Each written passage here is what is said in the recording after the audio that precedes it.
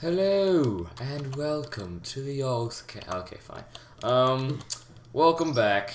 We're here on my Chernobyl map, and we are going to be making the the second part of our um, of our nuclear reactor, a beautiful nuclear reactor. So I went ahead and took the liberty of building us a little uh, house here. I took the liberty of taking a short power nap. You took a power nap. All right. Like 30, 30 seconds. You don't do anything, really. You're just you're just watching. You're just here for the ride. So basically, all you need is a seven by seven.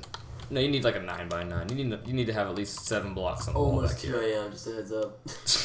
You need to have at least nine blocks or seven blocks on the back. So that means you have to have two blocks on the end. That means that equals out to the nine nine by nine. So it needs to be at least nine by nine. And uh, you need to break out five blocks in the in the center. Uh, this is where the lights will go. And then you have to have two blocks behind it so that um, you can get some, so you can have the transceivers and or the receivers and the transmitters. That's what it's called. Yeah, I knew that. All right. Um.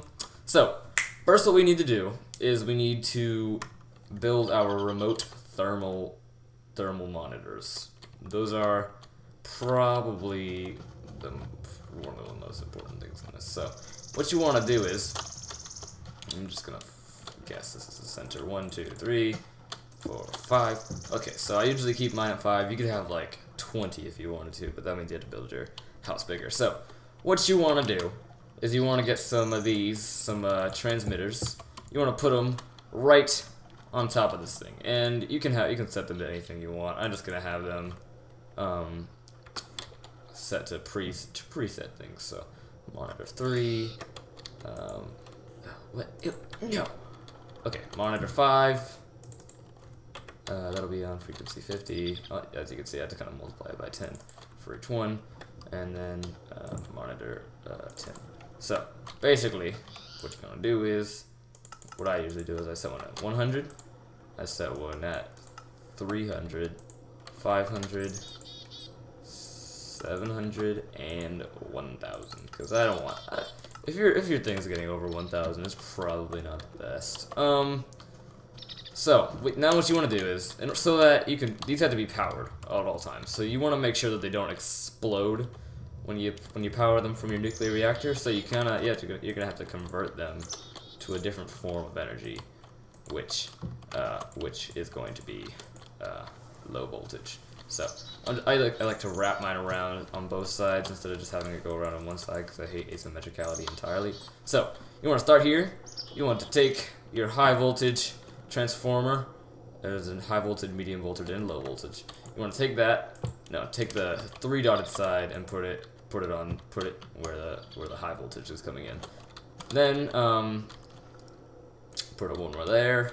Take the medium voltage, three dotted side is where the high voltage goes, or the medium high voltage, whatever. The thing goes into the thing, and then you put another one down, and then the uh, low voltage goes here.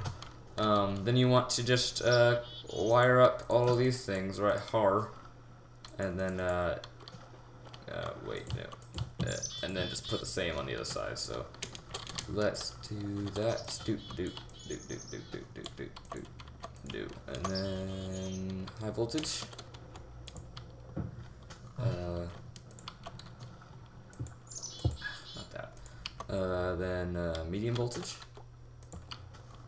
And finally, the low voltage. And bam. That is how you're going to keep those powered. Now, this is important. You need to have these things, which is called a remote sensor kit. And you need to go up to this thing, and then you need to click on it, right click it. Then you'll get this thing, which is called a sensor location card.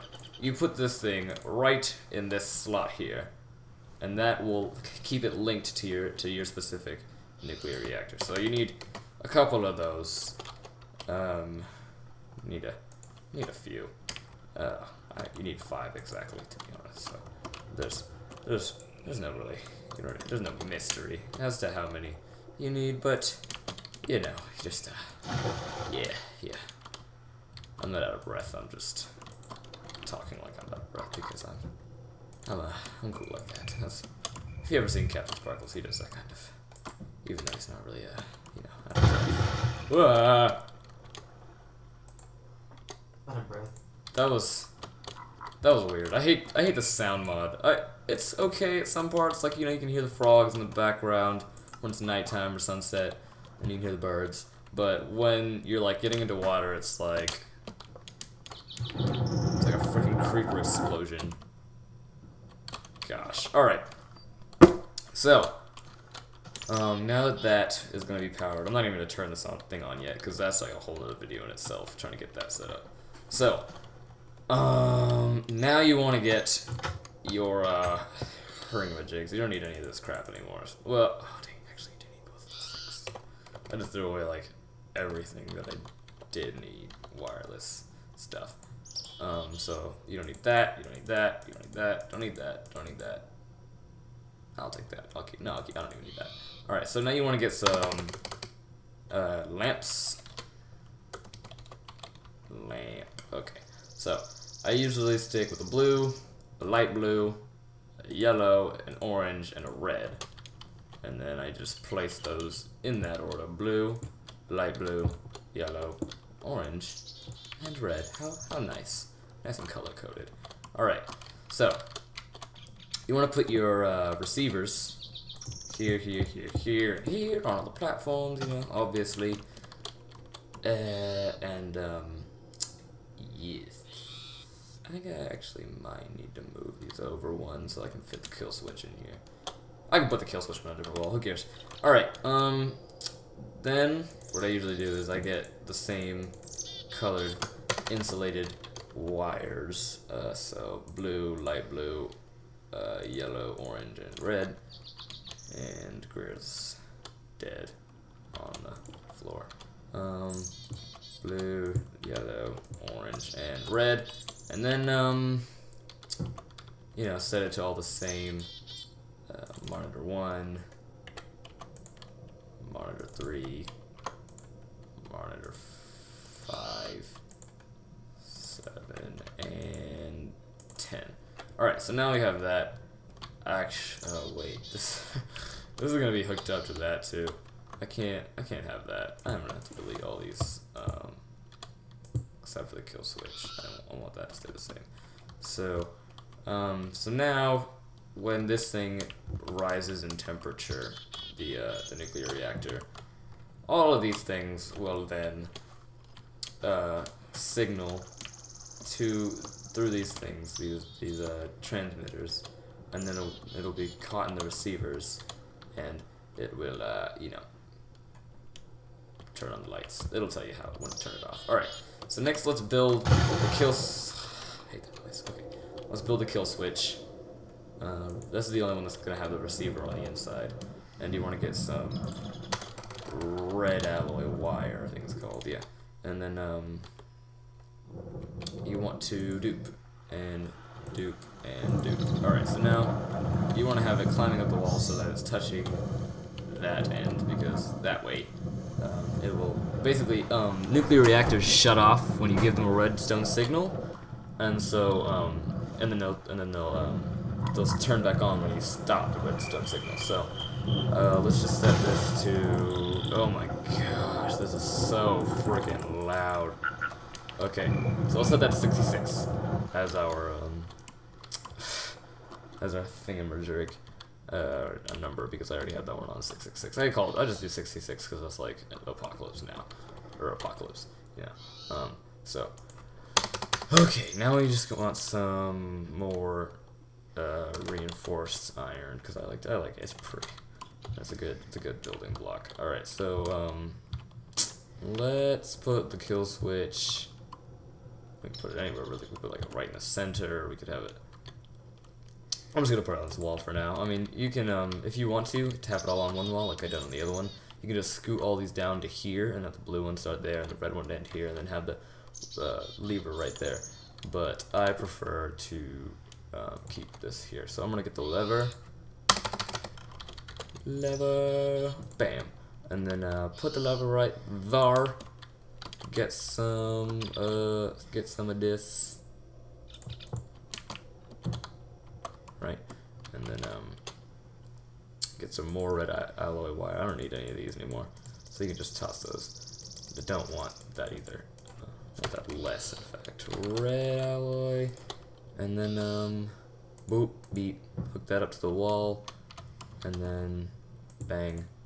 Uh, s- one, two, three, four, five, six. One, two, three, four, five, six, and that'll do it. I think. So let's see. Um, click that lever. That'll turn on 66. And then that should be on too. Alright, so now that that's on. Um, oof, I don't know if I don't want to start that yet. So, um, you might have noticed this thing here. That's that's nothing important yet. Uh, that's just where the power, most of the power is gonna go. Um, so, uh, I just I just built this uh, MFSU here so that um, it can absorb extra power. So I can have two of these hooked up to that, and then that way I won't ever like explode just because I have too much power going into anywhere. So there you go. Um, that's how you build uh, just like this half of the um, or the you know the base and the uh, the uh, temperature monitors. Um, so that way, you know when it's about to explode, because that's never a good thing. Um, if you want to, and this is always really cool. I always love doing this. Um, I usually hook up this one. I take this down to there, and I uh,